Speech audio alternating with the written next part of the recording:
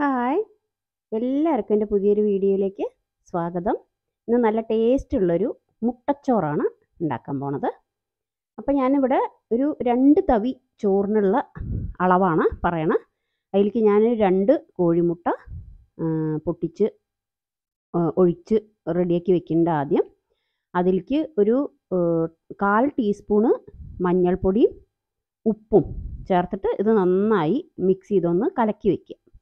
അതാണ് ആദ്യത്തെ പ്രോസസ്സ് ഇതിലേക്ക് വേണച്ചാൽ കുരുമുളക് പൊടി ഇടാം കേട്ടോ ഞാൻ കുരുമുളക് പൊടി ഇട്ടിട്ടില്ല. എന്താ വെച്ചാൽ ഞാൻ മസാലയിലേക്ക് പിന്നെ പച്ചമുളകും മുളക് പൊടിയൊക്കെ ചേർക്കുന്നുണ്ട് അതുകൊണ്ട് മഞ്ഞൾപ്പൊടിയും ഉപ്പും ചേർത്ത് നന്നായി കലക്കി ആ കട്ടയൊക്കെ കളയണം മഞ്ഞൾപ്പൊടിയുടെ. എന്നിട്ട് അത് കലക്കിയിട്ട് അവിടെ വയ്ക്കുക അതിന് ശേഷം ചോറ് നമ്മൾ ആദ്യം തന്നെ ഉപ്പിട്ട് വേവിച്ച് റെഡിയാക്കി വെക്കണം. അല്ലെങ്കിൽ തലേ ദിവസത്തെ ചോറൊക്കെ ഉണ്ടെങ്കിൽ എളുപ്പമാണ് അതിന് ശേഷം ഇത് മാറ്റി വെച്ചതിന് ശേഷം ഞാൻ ഇവിടെ മൺചട്ടിയിലാണ് ഉണ്ടാക്കണത്. മൺചട്ടിയിൽ ഉണ്ടാക്കിയ ഒരു പ്രത്യേക ടേസ്റ്റാണ് അപ്പോൾ ഞാൻ അതിലേക്ക് കോക്കനട്ട് ഓയിൽ തന്നെയാണ് ഒരു രണ്ട് ടേബിൾ സ്പൂണ് ഒഴിച്ചതിന് ശേഷം കടുക് കടുക് ഇടുന്നുണ്ട്. പിന്നെ വറ്റൽ മുളക് കറിവേപ്പില സവാള സവാളയ്ക്ക് പകരം ചെറിയ ഉള്ളി ചേർക്കാം. അപ്പോൾ ടേസ്റ്റ് ഒന്നും കൂടിയും കൂടും. ഇവിടെ ഞാൻ സവാള തന്നെ ഇട്ടിരിക്കണം. സവാളയും പച്ചമുളകും പിന്നെ കറിവേപ്പിലയും. ഇത്ര ഇട്ടിട്ട് നന്നായി അത് വഴറ്റി എടുക്കുക.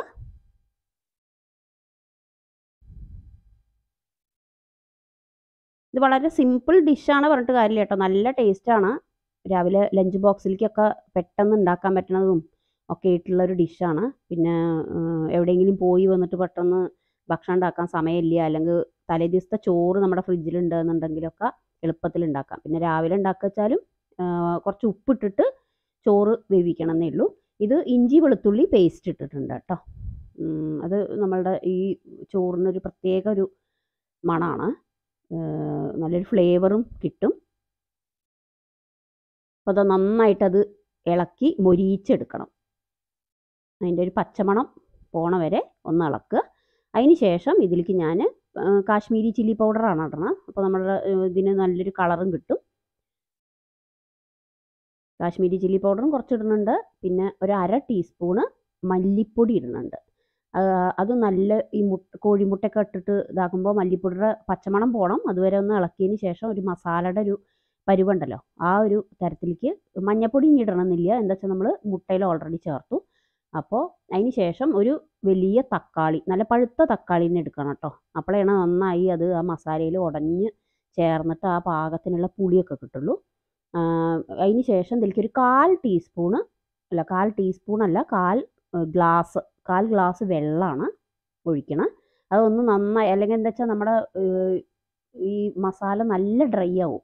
ചോറും കൂടി ഇടുമ്പോഴേക്ക് നല്ല ഡ്രൈ പോലെയാവും അങ്ങനെ ആവണ്ട ആവാതിരിക്കാൻ വേണ്ടിയിട്ട് ഒരു വാട്ടർ കണ്ടന്റ് പോലെ ആവാൻ വേണ്ടിയിട്ടാണ് കുറച്ച് വെള്ളം ചേർത്ത്. അപ്പോൾ അതിൽ കടന്നിട്ട് നമ്മുടെ തക്കാളി ഈ മസാലയൊക്കെ ഒന്ന് നന്നായി മിക്സായി വരും. അതിന് ശേഷം നമ്മൾ ഓൾറെഡി ഉപ്പിട്ടിട്ട് വേവിച്ച് വെച്ച ചോറ്.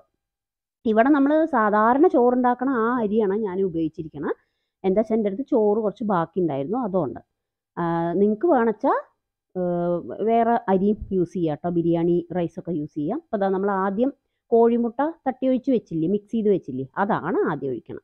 അതിന് ശേഷം ഇത് വേഗം നമുക്ക് ചിക്കി എടുക്കാം. ഇത് സാധാരണ നമ്മുടെ സ്ക്രാമ്പിൾഡ് എഗ്ഗിന്റെ പരിവല്ല കേട്ടോ.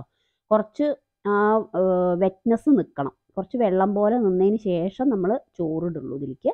അപ്പോഴാണ് ആ മസാല നന്നായി ചോറിന്റെ എല്ലാ ഭാഗത്തേക്കും മറ്റത് സ്ക്രാമ്പിൾഡ് എഗ്ഗ് പോലെ ആയി കഴിഞ്ഞാൽ നല്ല ഡ്രൈ ആയിട്ടല്ലേ വരിക. അങ്ങനെയല്ല. ഞാൻ കാണിച്ചു തരുന്നുണ്ട് അതിൽ ആ ഒരു വെറ്റ്നെസ്സിൽ വേണം നമ്മൾ ചോറിടാൻ. അപ്പോൾ ഞാൻ ഒരു രണ്ട് തവി ചോറിന്റെ അളവാണ് അതിൽ പറയണത്. നിങ്ങൾക്ക് പിന്നെ പറഞ്ഞ പോലെ തന്നെ ഏത് അരി വേണിച്ചാലും യൂസ് ചെയ്യാം. ജീരകശാലയോ അല്ലെങ്കിൽ ബസ്മതിയോ സാദാ ചോറിന്റെ അരിയാണ് ഞാൻ ഇവിടെ യൂസ് ചെയ്തത്. അതിലും നല്ല ടേസ്റ്റാണ് കേട്ടോ. അത് ബാക്കിയുള്ള സമയത്തൊക്കെ നല്ല എളുപ്പത്തിൽ ഉണ്ടാക്കാൻ പറ്റുന്ന ഒരു ഡിഷാണ് പിന്നെ നല്ല എളുപ്പമാണ് ഉണ്ടാക്കാൻ വേണ്ടിയിട്ട്. എന്താ ഈ ഒരു പരുവം കണ്ടോ? നല്ല ഡ്രൈ അല്ല. ഒരു ക്രീമി പരുവം പോലെ. അതിലേക്ക് നമ്മൾ ഓൾറെഡി എടുത്തു വെച്ചിരിക്കുന്ന ചോറ് രണ്ട് തവിയാണ്. അത് നന്നായി മിക്സ് ചെയ്യുക. ഇനി മീഡിയം ഹീറ്റിലാണ് തീ കൂട്ടി വെക്കണ്ട.